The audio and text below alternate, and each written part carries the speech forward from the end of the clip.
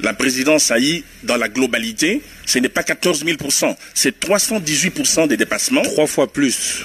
Oui, je donnerai, son budget. Je donnerai les éléments de la tendance. Les 14 100 c'est uniquement Non, non, laissez-moi- sur la rubrique Non. voyage du chef de l'État. Bon, il faut, il le préciser. Je vais entrer dans le détail. Mais que je vous donne un peu la, la- la- la- la nature ou bien la, la courbe, euh, la trajectoire, euh, de, je dirais, de euh, le fait que le budget a pris une allure exponentielle.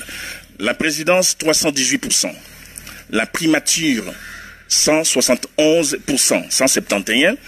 Ministère des Finances, dépassement de 129%.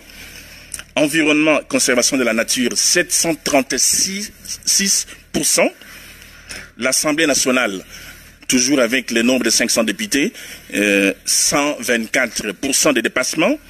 Urbanisme et habitat, 442%. Alors, je reviens maintenant sur la présidence. Le président Félix Tshisekedi est arrivé le 24 janvier 2019. En arrivant, il a hérité des prévisions budgétaires qui ont été élaborées avant.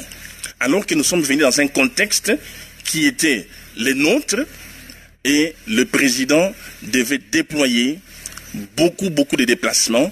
C'est la fameuse rubrique de 14 000% C'était uniquement une ligne. Alors, vous prenez euh, tout, l'annuaire, toute l'annuaire pour épingler juste la ligne frais de déplacement, location d'aéronefs. Le président de la République n'a pas un avion à sa disposition.